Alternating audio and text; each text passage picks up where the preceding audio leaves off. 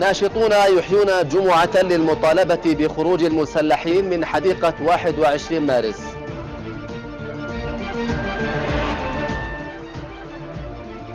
جمعة للتلاحم المدني في تعز وأخرى لإنقاذ ما تبقى من الدولة.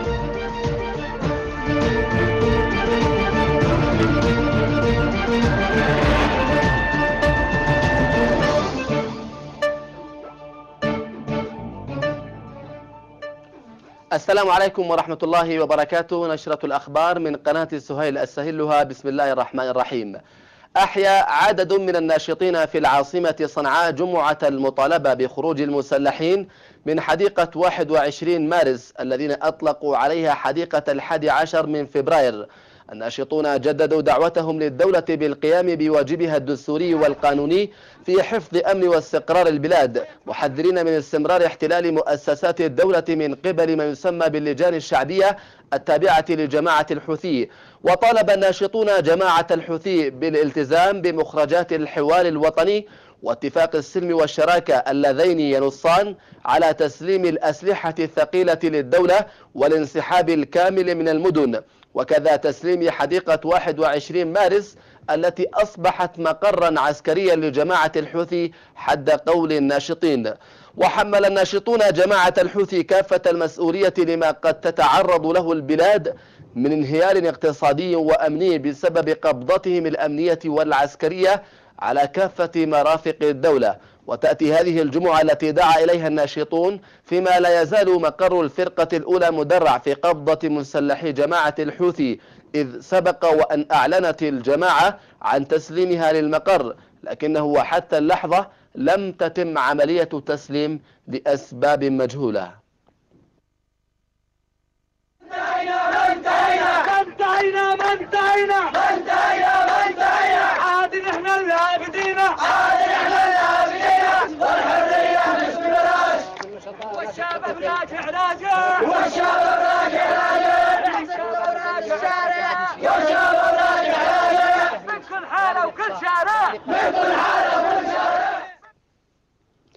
منذ الحادي عشر من فبراير 2011 وساحة الحرية بتعز تحتضن الفعاليات الثورية والمدنية. اليوم احتشد الآلاف في جمعة التلاحم المدني لإعلان رفض أبناء المحافظة لأي محاولات تهدف إلى زرع الفرقة بين أبنائها وتأكيدا على ضرورة استعادة الدولة وبناء مشروعها المدني. ساحة الحرية بتعز بجمعة جديدة أطلق عليها منظموها جمعة التلاحم المدني. جمعتنا اليوم جمعة التلاحم المدني الذي هو في الحقيقة واقعا ملموسا وإنما مباركة لذلك التلاحم الذي شهدناه ورأيناه في لقاء المركز الثقافي والذي لمسناه في خطاب محافظ المحافظة ليؤكد الجميع أننا في إطار توحد وتلاحم مدني رافضين للعنف وللميليشيات. قمة المدنية والرقي والتلاحم بين القيادة والأفراد والأمة بسيرة النبي صلى الله عليه وسلم. ونحن نتذكر سيرته بمولده الذي يحل علينا هذه الأيام. يدخل رسول الله صلى الله عليه وسلم مكة فاتحا مكة التي أخرج منها لكنه متواضعا خافضا جبهته إلى الأرض معتليا معتليا بقيمه وأخلاقه عليه الصلاة والسلام. قد يظن ظانا حينما دخل النبي إلى مكة بأنه سيأمر بتفجير بيوت أهل مكة وقادتها وبتدمير بيوتهم وبسفك دمائهم. لكن ما الذي صنعه الحبيب محمد؟ قال ما تظنون أني صانع بكم؟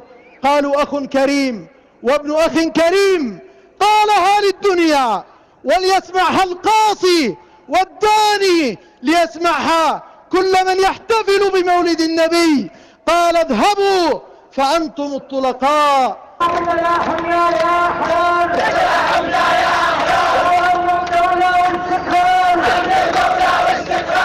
التلاحم المدني بين كل فئات المجتمع كفيل بأن يجنب البلاد الكثير من المشاكل والاحتراب ويضمن الأمن والاستقرار ويساعد على البناء والازدهار. محمد يوسف لقناة سهيل تعز. أقيمت في ساحة التغيير بمحافظة الحديدة جمعة أنقذوا ما تبقى من الدولة. المشاركون أكدوا على مواصلة فعالياتهم السلمية المدنية للمطالبة برحيل الفاسدين من تهامة وبسط سلطة الدولة واستعادة مؤسساتها. وعبر أبناء محافظة الحديدة عن استغرابهم من استجابة رئيس الجمهورية لضغوطات الحوثيين وتغيير المحافظ الوجيه. مؤكدين أنهم سيواصلون نضالهم لتحرير محافظتهم من غطرسة المسلحين مهما كان الثمن.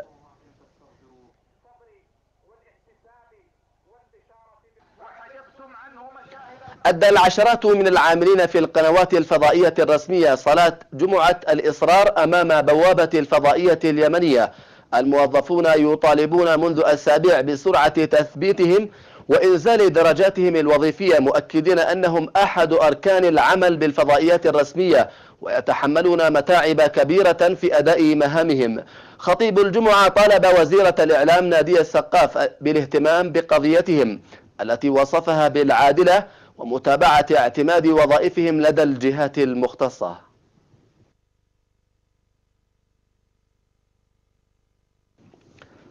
بمناسبة الذكرى التاسعة والأربعين لتأسيس التنظيم الوحدوي الشعبي الناصري عقد بتعز اللقاء الموسع لأعضاء وكوادر التنظيم بالمحافظة. حضر الفعالية الأمين العام للتنظيم الوحدوي الناصري عبد الله نعمان القدسي الذي دعا إلى مزيد من التلاحم بين القوى السياسية والمجتمعية لتجنيب البلاد المزيد من التدهور والانفلات الأمني. وطالب نعمان بضرورة تطبيق مخرجات مؤتمر الحوار الوطني كونها المخرج والضامن الوحيد لإنشاء دولة مدنية حديثة. مراكز القوى التي ليست لها مصلحة في بناء الدولة اليمنية الديمقراطية الاتحادية التي تريد أن تظل مسيطرة وحاكمة لهذا البلد إلى الأبد أو تعتقد هكذا ورعت أو حلمت بأنها ستورث الحكم في هذا البلد لأبنائها جيلا بعد جيل سعت منها ما كان موجود داخل مؤتمر الحوار وكان مضطرا لإعلان الموافقة على مخرجات المؤتمر كي لا يجد نفسه وجها لوجه أمام جماهير الشعب اليمني ومن تلك القوى من كانت خارج المؤتمر ذهبت لتضع العوائق والعراقيل أمام مخرجات مؤتمر الحوار الوطني وأمام بناء الدولة ففجرت الحرب في دماج واستمرت جدوة الحرب تشتعل وتسير من دماج حتى سقوط صنعاء ثم التمدد في المدن الأخرى. أدانت نقابة الصحفيين اليمنيين ما تعرض له الزميل بكر الضبياني عضو اللجنة النقابية في إذاعة صنعاء من مضايقة وتهديدات من قبل الحوثيين إذا لم يمتنع عن العمل. ودعت نقابة الصحفيين لتمكين الزميل والنقابي بكر الضبياني من ممارسة عمله بصورة طبيعية وفتح تحقيق فيما تعرض له من تهديد دفعه إلى ترك عمله. وقالت النقابة في بلاغ صحفي إن تعرض الصحفيين المحسوبين على طرف معين للملاحقة والتهديد وإجبارهم على ترك أعمالهم توجه مدان يتكئ على تصرفات انتقامية سيكون لها تداعيات خطيرة في المستقبل. ومن الضروري إيقاف مثل هذه التصرفات والتعامل بروح المسؤولية واتخاذ الإجراءات القانونية بحق المتورطين بممارسة هذا السلوك لوضع حد لها.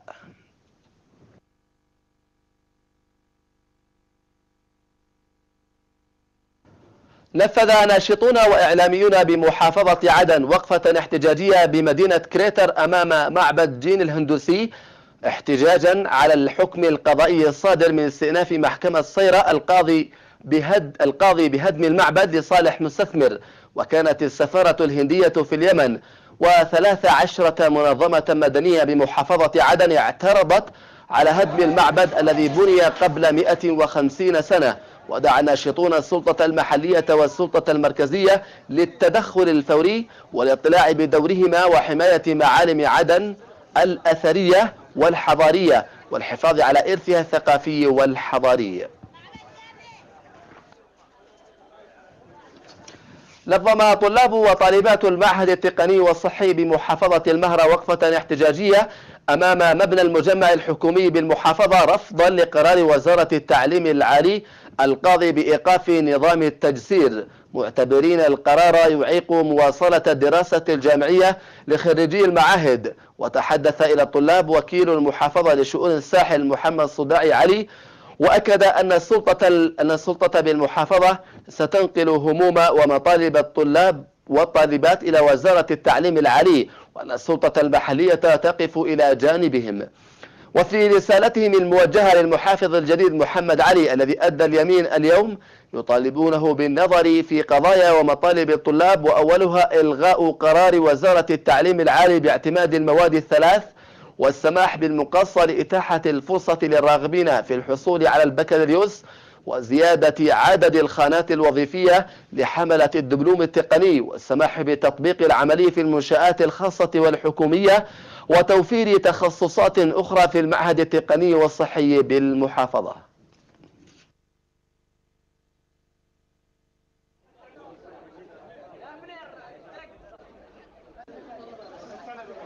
خرجنا اليوم لدينا ثلاث مطالب رئيسية المطلب الأول إلغاء هذا القانون أو القرار الظالم بحق كل الخريجين وكل منتسبي المعاهد الذي يمنعهم من مواصلة تعليمهم.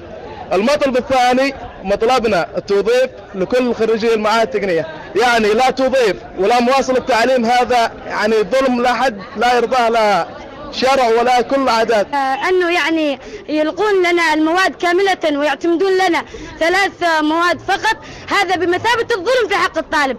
أين التقدير الاجتماعي من قبل الدولة؟ هذا صراحة كالحرث في الماء. وهل يجوز الحرث في الماء؟ لهذا وقفتكم الاحتجاجية. سننقلها إلى الوزارة المختصة اللي هي وزارة التعليم العالي. وسنشرح نحن في رسالتنا لكم إلا إذا كان عندكم أنتم رسالة أو بيان أو شيء سنرفعها إلى الوزارة لأن القرار مش بيدنا نحن. مش بيد السلطة المحلية في المحافظة. قرار بيد وزارة التعليم العالي في المركز. اختتمت بالعاصمة صنعاء دورة تدريبية لأكثر من 30 إعلاميا وحقوقيا حول استراتيجيات الضغط والمناصرة في مجال مناهضة التعذيب وتأتي الدورة في إطار مشروع حقوقي لتحسين البيئة القانونية لمناهضة التعذيب في اليمن. حضر حفل الاختتام وزير حقوق الإنسان عز الدين الأصبحي.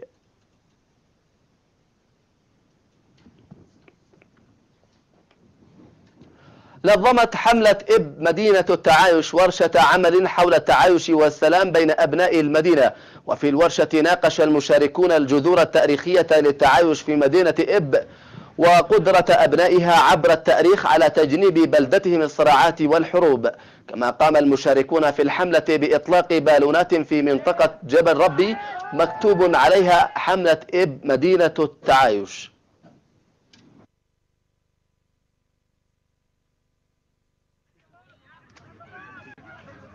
طبعا بدأنا انطلاقا لحملة التعايش من هنا من هذه المنطقة بإطلاق البالونات.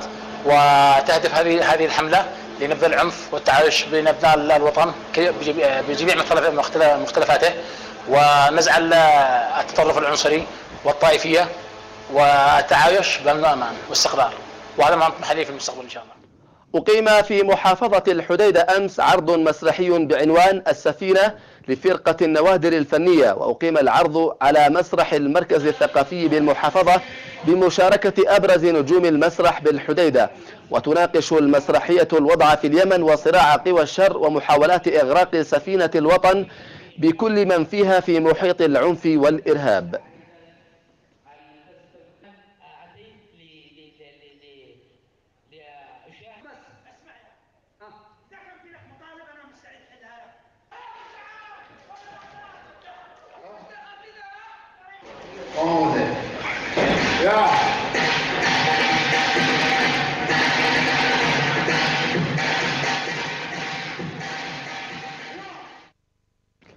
أشاد وكيل محافظة عدن نايف البكري بأدوار جامعة العلوم والتكنولوجيا في تخريج الكوادر الكفأة والمؤهلة في شتى المجالات.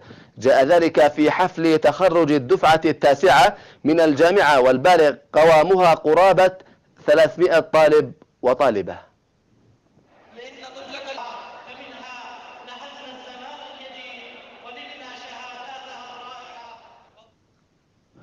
إدخال الطاقة الشمسية بات أمرا ضروريا بالنسبة لأبناء الكثير من المناطق الريفية بسبب عدم وصول الكهرباء العمومية إليها.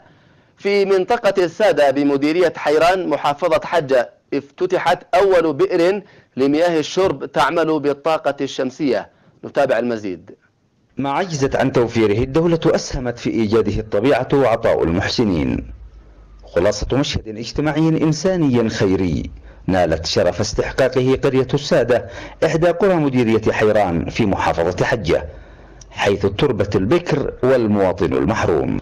مشهد حيوي تم فيه افتتاح مشروع المياه بالطاقة الشمسية وفق معدات حديثة وعبر شركات دولية متخصصة. الألواح الشمسية طبعا هي نعمة من رب العالمين انها عن طريق الشمس بتم توليد الطاقة الكهربائية بحولها من من أشعة شمسية بتتولد من الألواح الشمسية بتتحول إلى آه، طاقة متجددة.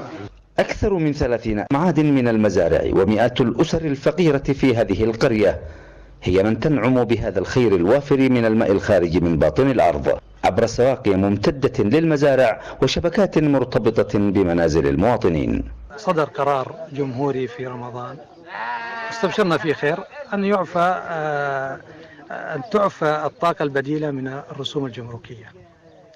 ولكن للأسف إلى الآن لم يطبق. لكن المهتمين بتنفيذ المشروع قالوا بأن على الدولة أن تسهم في إزاحة العوائق التي تؤثر سلبا في نجاح مثل هكذا مشاريع لتسهم في استثمار الطبيعة فيما يعود عليهم بالمنفعة. نشوف الديزل كان نمسك سرف نسبة كم ثلاث أيام في المحطات. ما في ديزل واليوم واليوم الحمد لله نشوف الشمس. يا جماعة. يقول المتابعون لهذا المشروع أن تكلفته تصل إلى ثلاثين ألف دولار وأنهم بحاجة إلى استكمال بعض المرافق الهامة فيه حتى يؤدي دوره على أكمل وجه. حقيقة بعد ما خرج الماء نحن الآن بحاجة إلى توفر خزان آه، حتى يتوفر الماء للقرية على مدار 24 ساعة. فالمضخة الآن تشتغل في النهار لأنها على الطاقة الشمسية. فنحن بحاجة إلى خزان آه، يحوي الماء وفي منطقة هناك محددة إن شاء الله نسوق برضو للخزان كمرحلة قادمة. الماء موجود عندنا الآن شبكة لكنها شبكة متهالكة. فنحتاج إلى شبكة ونحتاج إن شاء الله إلى خزان ماء ولعل الله أن ييسر ويتوفر هذا. إن شاء الله. ومع كل أشعة شمس ملتهبة وضخة ماء هادر ترتسم في شفاه هؤلاء المحرومين ابتسامة أمل أنقذتهم من شبح أزمة المشتقات النفطية. وغلائها المرهق وعناء دور الصيانة وتوفير الإمكانات والمعدات التقليدية لتتصدر أشعة الشمس وضوءها اهتمام المواطن ويبعث خرير الماء الهادر في نفوسهم الحياة الآمنة والمستقرة. عبد الحميد الأشول لقناة السهيل الفضائية من مديرية حيران محافظة حجة. في ختام النشرة هذا تذكير بأبرز ما جاء فيها.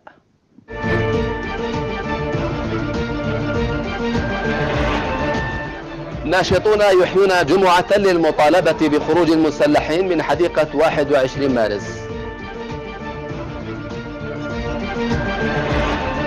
جمعة للتلاحم المدني في تعز وأخرى لإنقاذ ما تبقى من الدولة في الحديدة.